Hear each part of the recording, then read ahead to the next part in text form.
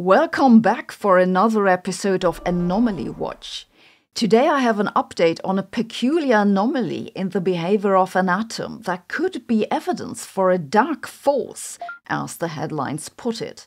A new experiment looked for the anomaly and confirmed it. This anomaly is young. It was first detected in 2020 by a group at MIT. They studied atoms of ytterbium, which is a metal with atomic number 70. The anomaly was originally at roughly 3 sigma, but it's now jumped to a stunning 23 sigma. Ytterbium is not a very common element unless you work in nuclear physics where it's super popular.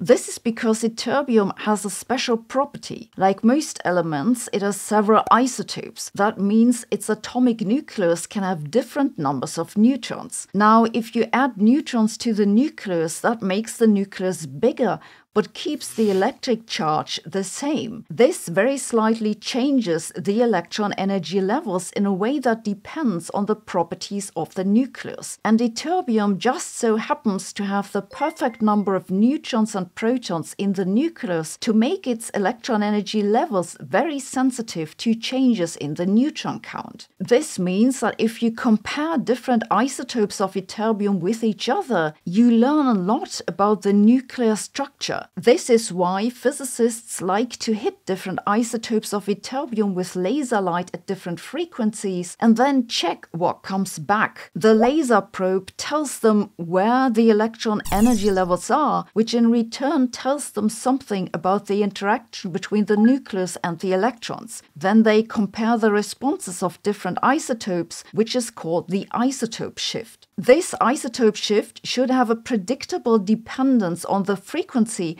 but here's the rub the data don't comply.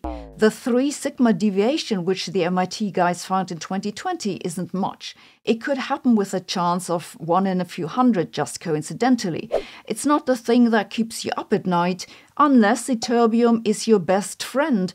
So, of course, nuclear physicists looked into this closer. The authors of the new paper poked ytterbium again, but this time they used a super precise measurement technique called a frequency comb that's great for teasing out fine details of a light spectrum. Frequency combs even got a Nobel Prize in 2005. And here's the banger using this technique vastly increased the mismatch between data and predictions. You can see this here in this figure, where the red line is the prediction and those are the data points. The error bars are increased by a factor of 200 because otherwise you wouldn't see them. There could be multiple reasons for this, but either way you look at it, they say there needs to be some extra contribution in addition to the nuclear physics that they did already use which is a nuclear deformation. They write in the paper that they deduce a 23 sigma preference for more than just the nuclear deformation going on, and that this leaves open the possibility of a new boson being responsible. So they don't say that this must be a new particle,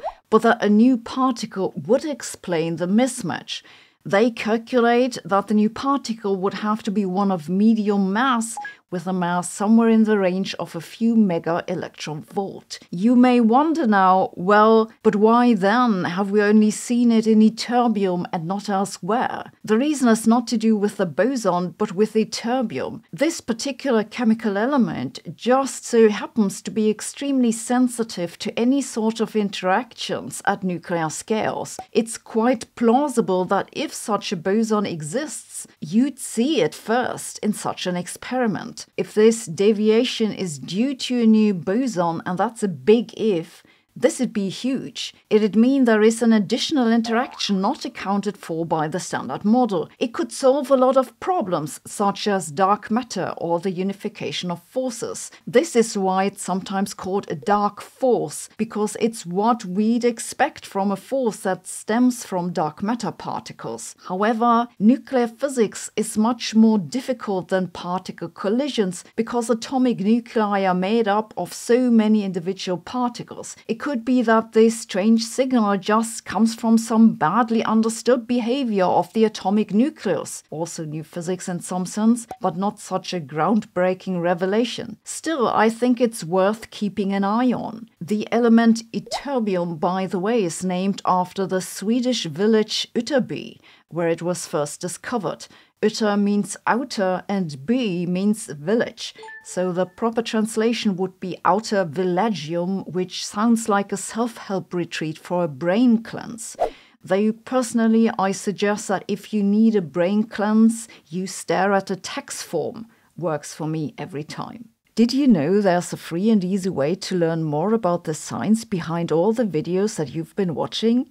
Yes, there is. Have a look at Brilliant. Brilliant offers courses on a large variety of topics in science, computer science, and mathematics. All their courses have interactive visualizations and come with follow up questions. Whether you want to know more about large language models or algebra, want to learn coding in Python, or know how computer memory works, Brilliant has you covered. It's a fast and easy way to learn, and you can do it whenever and wherever you have the time. And they're adding new courses each month. I even have my own course on Brilliant. That's an introduction to quantum mechanics. It'll help you understand what a wave function is and what the difference is between superpositions and entanglement. It also covers interference, the uncertainty principle, and Bell's theorem. And after that, you can continue maybe with a course on quantum computing or differential equations. And of course, I have a special offer for viewers of this channel.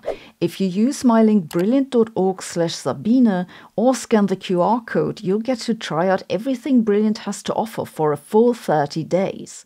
And you'll get 20% off the annual premium subscription. So go and check this out. Thanks for watching. See you tomorrow.